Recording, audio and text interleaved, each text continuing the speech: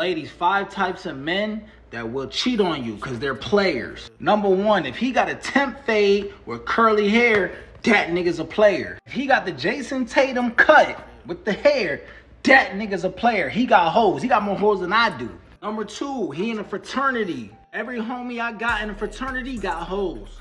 All of them. Even my white homies, they got hoes. All of them in the fraternity, the Sigma Chi, Theta Chi, they all got the hoes Chi. Number three, he got a neck tattoo. Any man with a neck tattoo, off top, you know he got holes.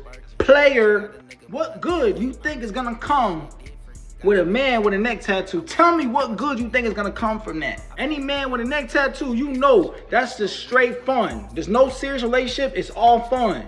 Number four, athlete. Any man that plays sports got hoes. These are the alpha males. Basketball players get the most hoes.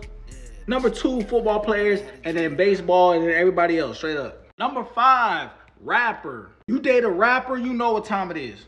Off top, you know what time it is. It's time to get cheated on. It's time to get cheated on. Ultimate player, the rapper.